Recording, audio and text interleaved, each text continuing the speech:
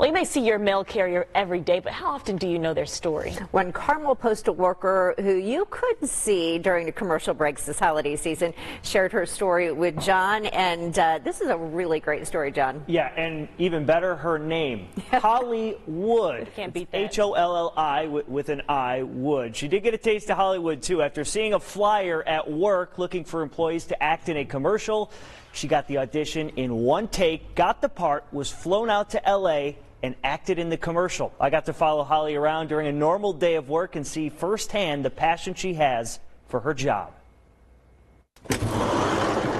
It's really never a dull moment in my job, and I like that. It's the same route in the same neighborhood. But like, you know, we are uh, bringing the joy of the holidays to the home. But every day and every door brings something new for Holli Wood. I've been deaf my whole life. This is challenging, and you have a different challenge every day. Hi, here you go. Have a good day. Something she's always embraced. I've been on this route for one year, and when I was um, city carrier assistant, I did that for three years. And then I became a regular, which is um, employee um, career with the federal government.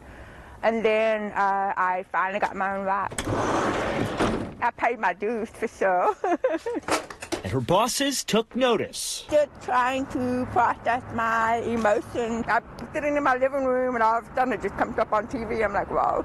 Holli Wood earned a trip to Hollywood and some national exposure. Be in the commercial for the USPS um, holiday season, and it was a real honor. And a reflection of her passion. Knowing that I have delivered excellent service to my customers and that I have delivered all of my letters and my packages to them. You know what houses you can walk in the screen porch. You know what houses are vacant.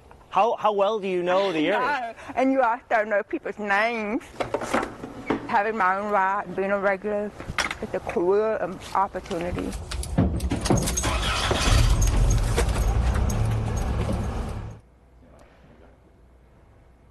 Yeah, Holli was a stay-at-home mom, then worked uh, recent, more recently a year at the Indiana School for the Deaf.